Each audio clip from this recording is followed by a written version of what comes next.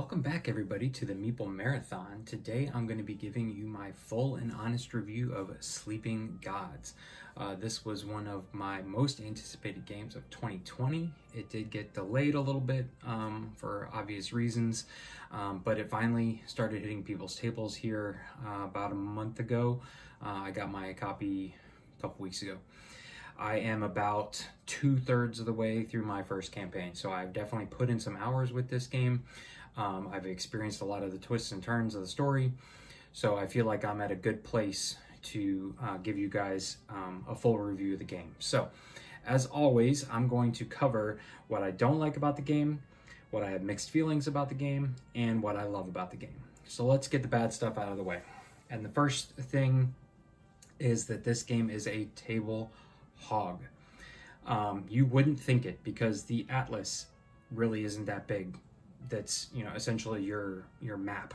Um, and the individual hero boards character boards are not that big. Um, and even when you first get it all set up it's still not quite that bad. But then when you start putting your components around the outside you have to have some place to put your storybook you have some have to have some place to put your journey log. Um, and then on top of it all because you know it's bad enough that you have to have all eight characters out and open and enough room to tuck cards underneath them and be able to read those cards and tuck weapons underneath their corners. So you can't just mash them all up together. They have to be kind of spread out. Then you have all these adventure cards that you have to keep track of and you have to leave those available to be able to read and put command tokens on and literally i'm just like i've got stuff spilling all over everywhere around here. Um, I'm, I'm, making it work. And i guess technically if you were playing this with at least another person a, a two-player game they would have their portion of people in front of them. And you just kind of move sophia odessa back and forth. I don't know how that would work though with all the stuff you can slot underneath her. But just in general this is a table hog. Just just be prepared for that if you are looking to get this game. You're gonna have to you're gonna want to set it up keep it set up for a while um, because it's not super easy to save but they do make a way for you to save it. Um, but it's you know you're having to pack away like health and figure out you know write down how much health was on people things like that and they really don't like you know leave a spot for that in the save log. I'm going to talk about that more here in a little bit. Um, the next thing that um, I really have not been a fan of, and this is more logistical, rules based, is the fact that there's different ways you use the command. The command is this, you know, light blue um, tokens here, and for the most part, you use these to activate your adventure cards. You also use them to activate the um, special abilities of your characters. But there's also certain ability cards, and these are the smaller cards that you slot underneath people. Most of the time, they're just giving you an additional skill um, type to count towards skill checks, but some of them have um, actual abilities that you can use spend command on. But according to the rules, and again, uh, I went back and reread it, and I, maybe uh, maybe I'm just completely misunderstanding it, but you don't lock the command onto the ability cards, and so it's hard to really understand can I just keep reusing that ability card over and over again as long as I have command to spend? Because all the other ones, they're locked until you remove command. That's very straightforward. But I think it's more of the fact that the rules is not the same across all use of command. Um, the fact that it they, they changed it up a little bit. It's just, it got, it's a little confusing. Uh, and the last thing kind of has to do with command, and that is that recipes cost command um, to use. And I'm, I'm getting real nitpicky here, but let me find, here is soup. This is a starting recipe, so I'm not, you know, spoiling anything for anybody. You're going to get this right off the bat. Um, you, you know, recipes are the main way for you to heal up your characters and remove fatigue off your characters, also status effects. They are crucial to you being able to get through the game. So you're going to have to be using them at some point or another. But you're already having to give up materials. You know, in this one, you have to give up three materials, and it can be any of the food type of materials. You give up three, you place a command on it, you get to make soup. That's going to remove three fatigue and a low morale. The giving up your materials makes sense. Obviously, you gather meat, you gather vegetables, you gather grain, and then eventually you pick a recipe to spend those on. Boom. What I really am not a fan of is that it takes command to make a recipe all the other ones, all these other adventure cards that are slotted out here in front of me make perfect sense that you have to spend command on. There's a few that have passive abilities, but um, let me find one of my other starting equipment here. Here's the gear. Again, this is starting equipment. I'm not giving anything away. You have to pay a command in order to redraw a fate card. If you didn't, then you know you would constantly be redrawing fate cards until you got whatever you wanted. So to use the gear, you're not having to spend anything else. This doesn't cost materials to use just command. I don't understand why recipes, which, you know, materials in this game, food and general vegetables, meat, is not super scarce, but there are times where you don't have any and you need to heal up, and so you better find a port and pay to stay at the end because you don't have food to make recipes. So, again, I'm getting kind of nitpicky here with my dislikes. The biggest one was the table hog thing, but I really don't understand why you have to pay command for your recipes, and I've got a lot of them here. Um, okay, so that really kind of takes care of the pure dislikes that I have for the game. I have a fair number of mixed feelings ones though, so let's go ahead and, and talk about those. Um, first off is the adventure cards themselves. I just showed you a couple. Uh, that includes your starting adventure cards, but you come across a lot of these throughout the game. Now, the reason I don't like them is because they are literally taking over the table here and I'm literally having to stack them on top of one another so I can just see the bottom. I don't get to see the artwork. If I were to try and spread these out, I would need a whole second table. It would be ridiculous. I mean, look at how many recipes I have. This is all the recipes. I keep these just in a stack. And when I'm like, hmm, I want to make a recipe, I need to heal up somebody. What do I want to make? Do I want to make soup? Do I want to make pancakes? Um, and I, I just go through my stack. They take up so much room because you accumulate a good number of them. But on the flip side, this is probably one of the more exciting parts of the game is getting these adventure cards which help mitigate your skill checks, which give you, you know, accuracy when you need it. It gives you blocks when you need it, you know, because your characters in general are not that souped up. You know, they have maybe one or two accuracy. Mac Johnson has four, which makes her guaranteed she's going to participate in every fight. But all the rest of them, it's like one or two, and your enemies have like five or six defense you need to overcome with your accuracy, however you want to call it. And so you need these cards, but having these cards and having a wide variety of them really helps the gameplay and makes you feel like, you know, you can survive fights and you can survive adventures and you can mitigate your skill checks. So, yeah, it's it's really like a love-hate relationship with these adventure cards because I have so many of them now, two-thirds of the way through the campaign, but I don't want to get rid of any of them. The only thing I'm willing to stack up and not have access in front of me at all times are my recipes because I know when I need to use a recipe and I just go flip through them and I lay it out and put a command token on. It. So, um, and while we're on the subject of cards, let's go to my next mixed feelings that I have, and that is the quest cards. Now, the quest cards uh, really just serve the purpose of giving you a keyword. And in the storybook, a lot of the um, paragraphs that you come across and the choices you make, you can only make certain choices if you have a certain keyword. Um, if you've come across that keyword and you know you, you have it written down, is what most people used to do. And that's very common for storybook games. That way you can't get ahead or you know read a passage you're not supposed to. But for uh, the, this particular game, instead of just giving you a spot on your journey log to write every keyword down and then cross through it, they give you these cards. Now, these cards are really nice because uh, I don't have to write it down. That way, if I forget, you know, or forget to cross through it, these are easier, I feel like, to grab and to have out and to not lose track of. They also have a little bit of flavor text. I'm holding this way back so you don't see what it is, but there's a little bit of flavor text on this side and there's a little wave symbol on this side.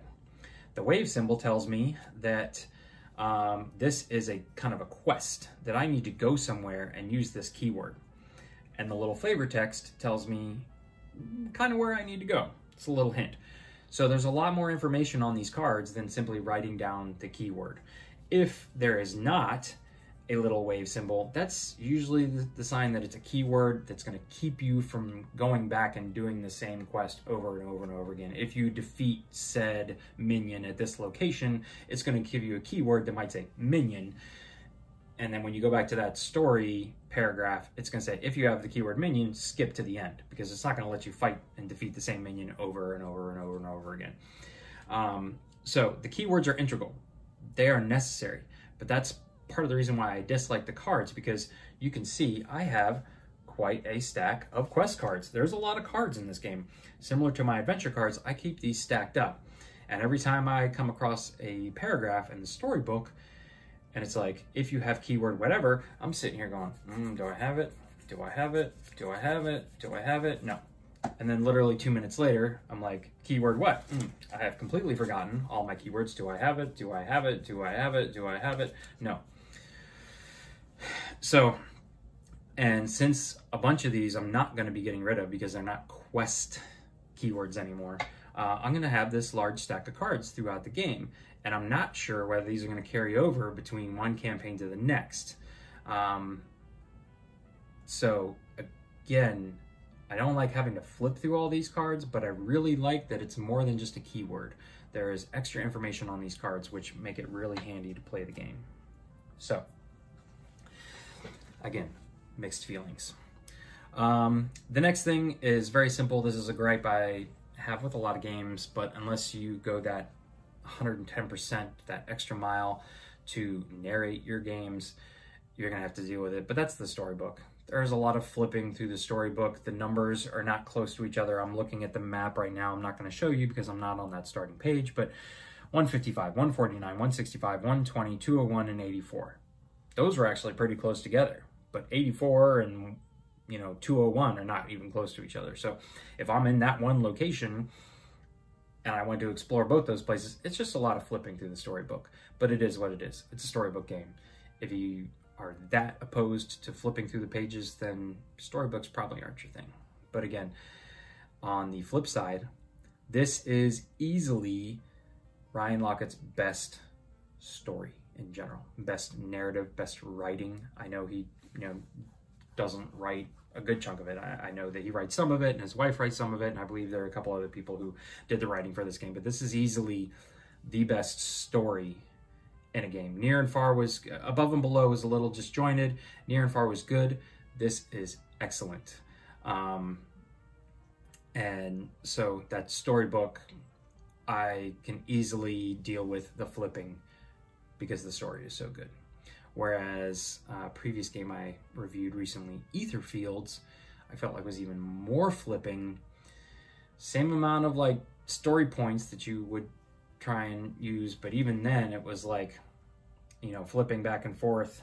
Um, you know, between it was like you start at 201 and it's like your choice is going to take you to 84 or 15. This one, it's at least it's like 201 and then it's like go to 201 2.2 or 201.3 as your choice. So there's not as much flipping once you're in a story. So I appreciate that. But this is by far Ryan Laukat's best story. So if that's what you're out for, keep listening. All right. Um, the next one, I'm only going to touch on briefly. I'm not going to spoil it, but if you have been watching my playthroughs, you will see it here eventually. Um, that's going to be your choice whether you're watching my playthroughs all the way. I'm not hiding anything, but those up front are obviously full of spoilers. But when you get to the event deck and there's like a specific story point that happens at one third and then two thirds of the way through your story, let's just say something epic happens and something not cool happens. I'm just going to leave it at that right there. And the last thing that I have mixed feelings about is leveling up your characters. Now, I think it's awesome that you can level up your characters because, like I said before, none of them are really that impressive right off the bat. Not even the captain is that impressive. She's got a lot of stats, but some of these guys only have like two things that to their name. Like, you know, Gregory Little here can only help you out in strength and savvy, which I guess makes sense. Um, you know, Captain Sophia does obviously has all of them. Skill checks are a big thing in this game. And so for the most part, getting those upgrades adds a skill level to their player board essentially. Um, and so what I have done for a couple people here, and I'm not going to show them to you because I don't want to ruin, you know, spoil the the upgrade cards. But Raphael here, he's essentially my strength man. He's my strong man. He's Mr. Muscles. I have kitted him out with as many strength cards, and some of those come from the ability deck while I'm playing. But when I have a strength test that I want to pass, he's my man. And that is a you know excellent strategy for the game. What I don't like about the XP cards is that some of them just don't make any sense at all. Like, um, you know, I just showed you Greg Little. He's got strength and savvy as his two starting icons, and he may have an XP card in here that gives him cunning. Well, that's just then giving him his first level. Why am I going to purchase that XP card when there's obviously somebody else I have kitted out with cunning and is my cunning person for skill checks? you know, I don't understand why they went so, you know, off the rails with some of these symbols that they're not even symbols that you can then double up on. Nobody has two symbols to begin with um, to, to pass skill checks. So you're going to have to add a skill card, an upgrade card, an XP card to their character in order to even give them two starting skill. And then add ability cards to give them more in order to help pass skill checks easily. So why are you going to even make me pay XP to upgrade a character with just their very first skill check? I hope that makes sense. It's hard to show you without showing you the actual, you know, upgrade cards, but here's just here's an example of an ability card that's got the strength symbol on it. So if I were to put this on, say, Audrey right now, um, you know, if this was her XP card, this would be giving her her very first strength symbol. Well, I'm probably have not been using Audrey for strength skill tests at all, obviously, and I'm probably not going to use her now with just a single one. So, you know, what's the point? Anyways, um, all right, so that was the last of my mixed feelings. Let's get into what I really love about the game. Flat out, this is the best Ryan Laukat game I've ever played. This is the best storybook game I've ever played. This is the best exploration adventure game I have ever played uh, narrative driven game I've ever played. This has amazing artwork and an excellent story, a sense of adventure to it. The closest thing that I can compare this to is when I was playing. Uh, you have to be into video games to understand this, but Legend of Zelda Breath of the Wild the openness of that game, the fact that I literally could go anywhere and sometimes was going back and forth across the map to, to take things out, and I could have stopped at any point and you know tried to take on Ganon. That's how this makes me feel. It I get that same feeling playing this game that I did playing Zelda Breath of the Wild. Just the, the sheer awe of it and wanting to do everything, but knowing I don't have time to do everything or I don't have the health to do everything. And sometimes maybe I'll go back because I passed something by. I remember climbing up to the tops of those towers in Zelda and just looking around and being like, ooh, I want to go there, I want to go there, I want to go there, and I want to go there. I get that same sense of exploration and satisfaction from this game. There is so much here. I have I'm two thirds of the way through my first campaign, and there I'm not even close. I don't even think I've looked at half the pages in this book, and I haven't even found content that's part of the Tides of Ruin expansion, which I included, which is there, but I haven't even found those areas yet and I know that I'm only basically 18 rounds away from finishing this campaign. I I'm already thinking about where am I going to go when I start a new campaign. You kind of start in the middle of the map. Here I'll show you kind of what this map looks like, and you, you start right here. And so you can go down a ways and right and left or up a ways. And, you know, I've really just kind of stuck in this area right here and done so much and felt like I have gotten so much out of this game. And I've only hit on like five of the sections. It is just so well done. It is different. The combat is different. The use of the characters is different. Um, you know that the spiral bound Atlas is not different, but the fact that it's a sailboat is different for him. Uh, it's not you moving your person around points. It's like park into an area, and then what can you do all in this area before you want to steam on? Um, this is just easily Ryan Laukat's best game. by far. I, I can say that with, you know, true conviction.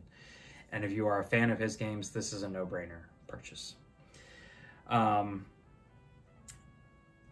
I'm going to dial it back down just a little bit now um, and cover more specific things. One of the things that I do really like about this storybook, and I didn't kind of cover it in my mixed feelings about the storybook because this is truly a singular point that I really appreciate that the designers did with this game, and that is when you go to a city, especially if it's a large location and there are multiple choices you can make, mm, almost every time when you make it to the end of a little decision tree, it circles you back to that very, it doesn't say return to the ship, it says go back to the market or wherever you started your little questioning of people and, and doing little events. So with one exploration action, because you only get two actions per turn, you can do everything there is to do in that city, port, wherever it is. That's not always the case because sometimes the, the story has to stop you after a certain action, and that's okay. But for the most part, I'm not having to mill through all of my turns and action allocation just to explore all there is at you know this one port and i really appreciate that other games that i have played it's like you want to do anything you gotta you better pick the right one there's five choices but if you pick one you make it all the way through the end and there may very well be it's a dead end in the story which i don't like to begin with but i can understand not everything can lead to something but when I get to a dead end and then I have to spend another action, I have to spend another resource just to circle back around and pick B instead of A at the very beginning of the decision tree drives me crazy. But this one, you can essentially say, all right, I'm exploring this location, and that one action lets you do everything you probably will want to do in that one location. And that just, I know it's something very small, but it is a big deal for me. All right. Um, the next thing is, and I know I kind of already covered these, but I really wanted to talk about adventure cards again because these things are what I look for to level up. These are what I want in my hand, more so than the XP cards, more so than the ability cards. These are cheaper to activate than ability cards are to slot. These are cheaper than XP is to spend on the upgrade cards. These adventure cards are what make the adventuring awesome. Otherwise, this game would be way too tough. But the choices, man, that I have to make when I go to the market and I'm purchasing adventure cards is like, I want to buy it all because I want all this stuff in front of me, but money is tight. So, what do I really need? I'm going to buy this one. Or when I get an adventure card for free, that's probably the best. I would rather get a free adventure card than XP or money in this game. We'll just put it that way. Adventure cards really make this game go. And even though they take up so much room on the table, I love having them in front of me and what really make the game tick. Um, another thing that I really appreciate, and this is very simple, but if all of your crew, uh, you can play on brutal, and that means if everybody dies or your ship takes full damage, you're done. But normal mode, not easy mode, normal mode, if everybody dies, you simply make it to port and you lick your wounds and you're not done. And I really appreciate that because I'm not here to prove that I made every decision correctly and made every strategic combat decision correctly. I'm just here to enjoy the experience. And I don't want to be penalized for making a wrong turn and ending up in combat that I couldn't handle, which happens most often. I will say this this game is not easy resources are tight. Combat is tough. I have yet to come across a combat that I just breeze through. It just does. I don't think it exists. Ryan Laukat gives you this level based on what the combat. You know, all of the people have their own number, which you search for, but then each combat scenario is given a level, right? And I don't know what it goes up to. I've seen as high as 17, I think, so it must go up to 20 probably. I have yet to see a single digit combat level. All of my combats have been in the teens. I think 11 has been the easiest combat that I've done. Somewhere out there, there's got to be a one. I just haven't come across it yet. So, let me preface this. This game is not easy. So, being able to regenerate on normal mode is nice. I'll just put it that way.